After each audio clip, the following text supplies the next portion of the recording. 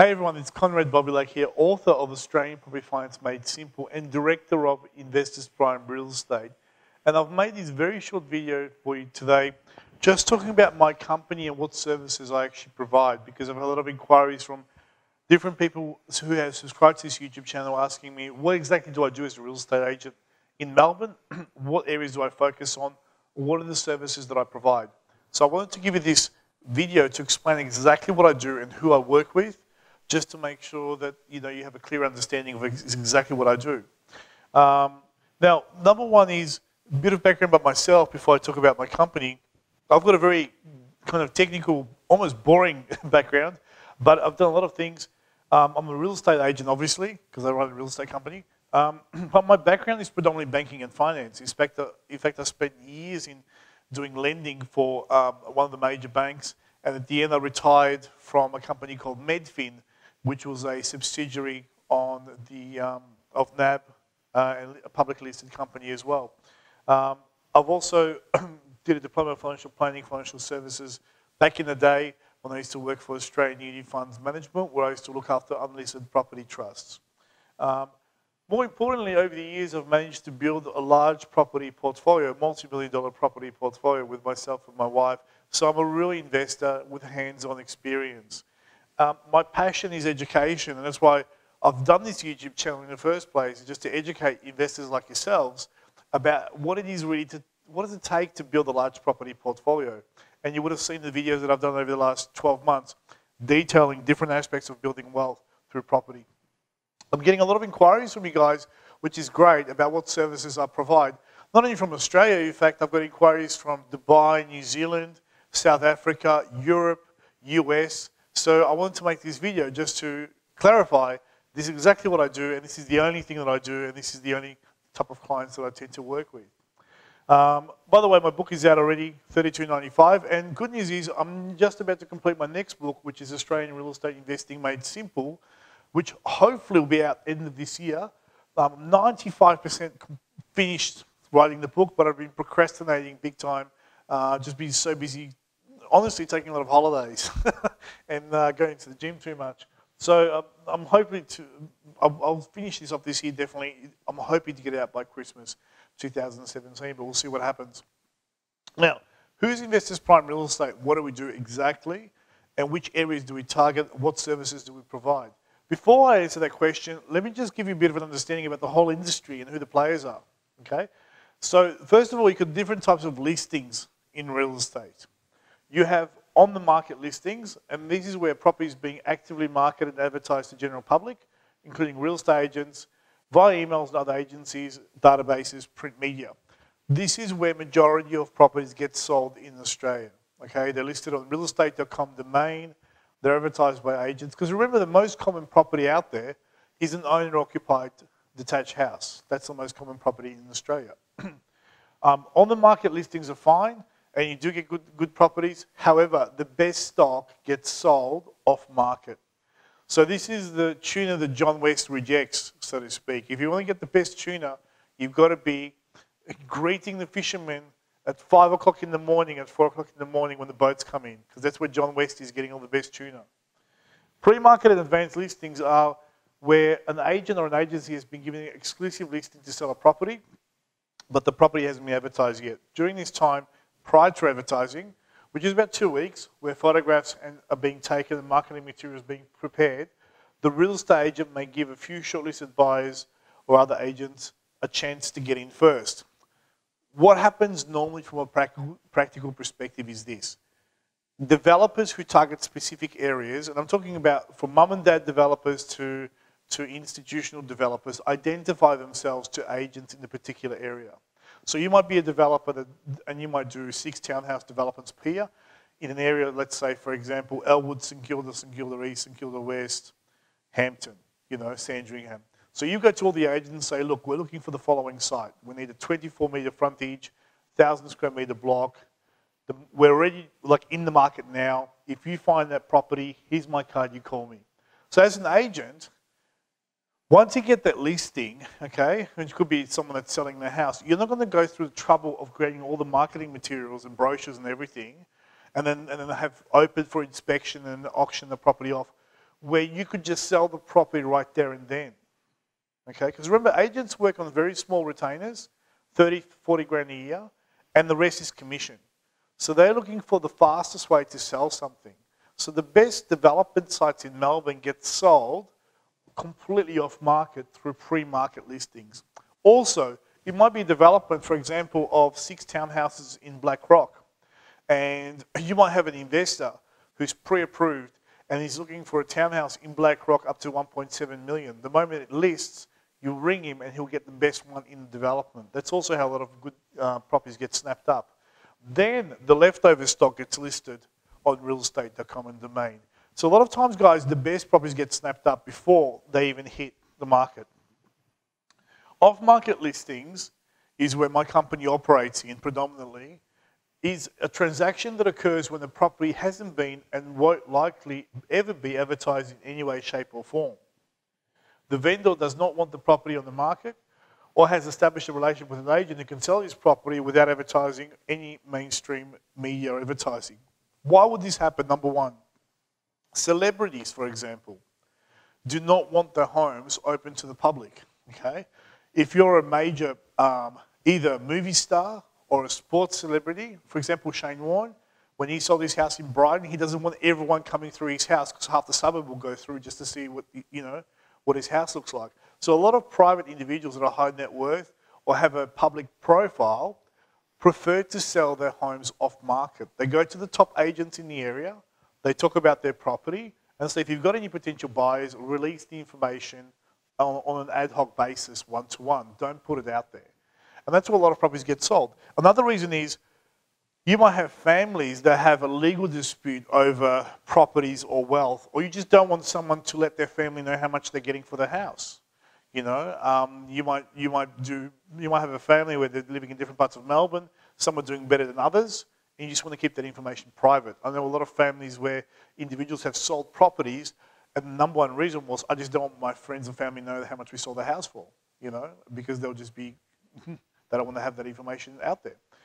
Um, also, developers um, tend to deal with, with uh, certain agencies and develop properties specifically designed for investors that sell off market as well. Most of the projects that I source for my private clients are completely off market. And this is how simple, this is how it works. After identifying the top 45 best suburbs in Melbourne, the growth suburbs, which are predominantly in the Bayside and the inner south, southeast, all I used to do is ring up a developer and say, Hi, Mr. Developer. I see you've got a development in Brighton of seven townhouses. I've got clients already pre-approved, um, ready to go. Would you like to have a coffee? Um, we, I, I, want to buy your whole development. It's that simple. Or, hi, Mr. Developer. I've you've got pre-approved for four townhouses in Cheltenham. I've got four investors pre-approved for 700,000 that are looking for three-bedroom townhouses in Cheltenham. Can we catch up for a coffee? What do you think the developer's going to say? No, stuff you, Konrad. I don't want to catch up for a coffie on the waste three months of my life marketing the, the property out there, paying thousands of dollars in advertising, of course he's going to catch up with me. And that's how I've sourced most of my projects for my clients. I've sourced them based on location, the fundamentals of the area, but, but the majority of them are off market. So you have, so basically that's the type of listings. Then you have different types of industry players. You've got traditional real estate agents, which is Ray White, Hocking Stuart, you know, the big boys, selling predominantly to mums and dads through auctions. And that's the main industry, that's 90% of all the stock being sold. You've also got project marketers out there, like Colliers, CBRE, Century 21, where what they'll do is they'll focus on one development at a time. So for example, um, they might be given a tower uh, of 250 apartments, and they sell, they'll, they'll sit on that for a year and a half until they sell all, and they'll go to another project, another project. You also have developers that get so big, they start selling their own stock. So for example, Central Equity, Mirvac's a good example, selling um, the development currently in Doncaster, the old, the old golf course in Doncaster they got rezoned. And Mirvac will hire their own agents and they'll have a display suite and they'll be selling that project over the next you know, number of years before it's all sold out. Sunland's another example. Then you've got buyers advocates, which I'm a big fan of. In fact, I'm thinking of setting up a buyers advocacy service for my company as of 1st of July 2017. So stay tuned for some videos that will be coming out informing my clients that's going to happen. And this is uh, some of the best ones in Melbourne, The Secret Agent, Wakelin, Advantage Property Group. Where they'll charge you a fee for finding a really good property out there. So they might charge you 5, 10, 15, 20 grand, depending on the price point, obviously, of the property, and they'll go out and find a really good property from other agents or vendors out there for you. And they work for you, not the vendor, okay? What my company does is different from all these others, okay? What we do is we're a sourcing specialist. And I believe we're the only one in Australia that does exactly, specifically what we do. So what we do that's different is this. Um, we've identified key blue chip suburbs in Melbourne that have outperformed the other suburbs. Just to give you an understanding of Melbourne, if you're from interstate, there's 390 suburbs in Melbourne. About 198 have doubled in median price in the last 10 years, but 45 have really shot up and have tripled in terms of price appreciation for the last you know, 10 years. So what I'm doing is I'm focusing on my attention on those best top 45 suburbs, which means the stock that I source is not cheap. In fact, the cheapest townhouses that I tend to get are around the 550, 600 mark. Majority of the stock is around 750 to 950, and definitely the best stock is around 1 million and 50 to 2 million, uh, $2 million, you know. So I target the suburb first, then the property, not the property itself and then the suburb. If the suburb doesn't fit my criteria, I don't source the property. I've got access to over 4,000 properties at any one time, but I only transact 75 to 100 in one year. So I might have a developer with 10 projects. Some projects have four properties, some have 30, but I might choose and pick which properties I want depending on what my clients are doing with their property portfolios. So I'm very selective and I choose the best properties in each project that match my client's criteria and investment objectives. So I'm not only as a real estate agent doing a transaction, I'm actually thinking about it from an investment perspective of, you know, what's the best property to target and how do I find the property that matches their objectives in terms of capital gain, but also rental return, um, future rental return, depreciation, all those kind of considerations. I've got access to off-market developments that will never hit the mainstream market. In fact, most projects that I've sold and sourced over the last three to five years have never been advertised on realestate.com on domain, and they have no internet or any kind of website advertising at all. So you're never going to find them listed anywhere. I negotiate very special deals and discounts on behalf of my buyers in some circumstances in the right part of this property cycle. I reject 95% of all properties that are offered to me. Um, and the most important thing is that I'm an investor myself, guys. I'm not a real estate agent. I became a real estate agent later on when I was already a very successful property investor. So I look at properties very differently from a local agent that might not have any investment properties behind them. You know, um, so that, that insight is, is very much invaluable. I also do unbiased education um, around property. Um, and that's why I run workshops and write my books and articles and I do YouTube videos just to educate the next generation of investors out there so they can benefit from, from my knowledge and knowledge of other experts out there. Here's some examples that I've sourced recently. This is in Yarraville, and these are townhouses, 810 to 835,000, two and three bedrooms, off market completely. Um, so, you know, Yarraville's a great area to invest in. Melbourne, always done well. This is another development in Brunswick, which is 14 townhouses, 765 to 850. Brunswick, one of the trendiest areas in Melbourne. Great, you know, cafe culture, very trendy, very hip, hipster uh, suburb. um, and it was the case, the same thing when, when I was growing up, you know, in my teens. Um, I mean, it was one of the areas we used to hang out in. Um, once again, great, great two and three bedroom townhouses, some with rooftop terraces, which is a very appealing part of um, Brunswick. This is a development in Brighton consisting of seven apartments, which is completely off market. Um, once again, I source this directly from the developer. You'll never see it advertised anywhere in any way, shape or form.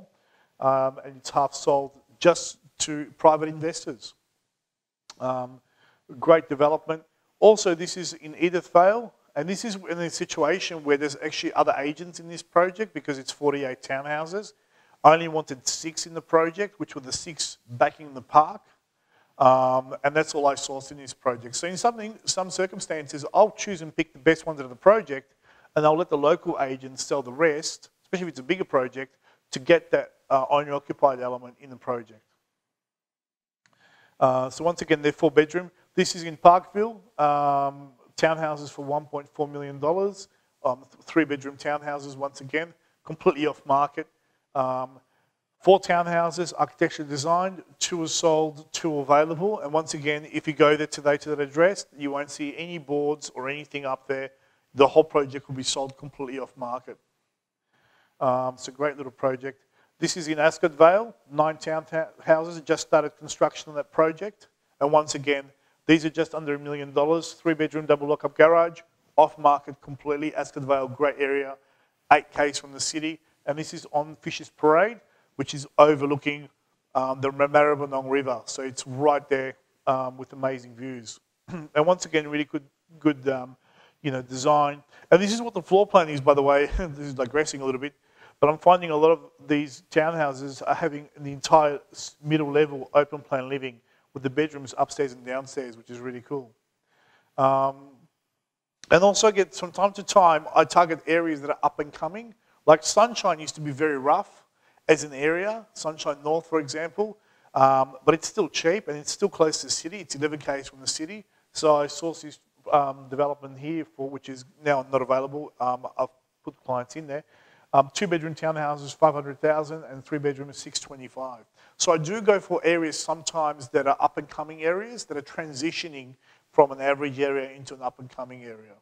Um, and once again, this project's not available, but this is the kind of stock that I'm sourcing all the time, you know, for my, for my clients. Um, so once again, who can benefit from this information? So if you're a couple and you're working full time and you have an income of roughly, let's say $120,000 between the both of you and you've got about 100 grand in equity as a minimum, you can come to me and I can start helping you build your property portfolio. So basically, if your combined income, once again, is about 120K per year, or for a single person, let's say 70 or 80,000, and you've got access to at least 100,000 in equity, and that's accessible equity. So this is income. This is equity.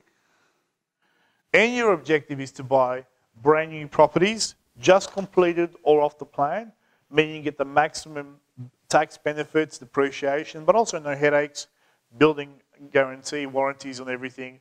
You know, so it's all brand new, and obviously brand new is the most appealing type of property for, for tenants versus you know older properties. Then definitely that's something that I can help you with. All you got to do is click the link below, get in contact with me, send me an email, or give me a call on the mobile, and I'll be able to help you fast track and build your property portfolio um, from, from as soon as we get in contact with each other. That's pretty much it, guys. Um, so if you have any questions, um, feel free to email me. Other than that, I hope you enjoyed this video. I hope to, that you subscribe to my video channel. Um, this is Konrad Bobilak. Thank you very much, and I'll see you on the inside.